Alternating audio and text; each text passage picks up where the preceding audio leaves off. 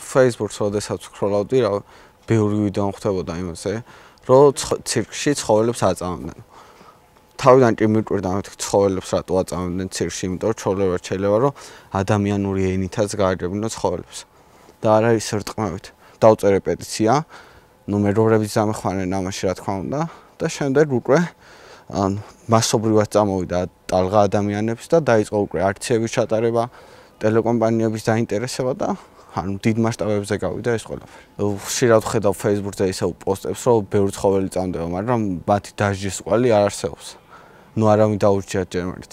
რა ეს დღეებია, ეს ანუ გუშინ წინ გავცელა ვიდეო, როდესაც ზაღლი ჩამოახჩოს, მაგრამ ის ადამიანი ჯერ არ დაუჭერიათ. ანუ ხო ყოლია ესეთი ბევრი ზაღლები ყოლია.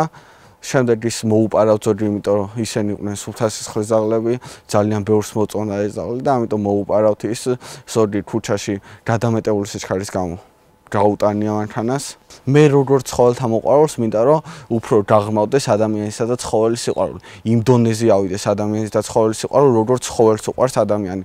მოიხსენებათ რომ ძაღლი ყველაზე ერთგული არის ადამიანებში. მაგალითად მე ძაღლი მიტომ მიყვარს რომ მას ის ძალიან უყვარა. ამ ვაფასებ მის ერთგულებას და ამიტომ მიყვარს ძაღლი. ისინი ვერ იცავენ თავიანთ თავს იმდენად როგორც საჭიროა. ამიტომ ჩვენ ადამიანებმა ყოველთვის უნდა მოახერხოთ მათი დაცვა.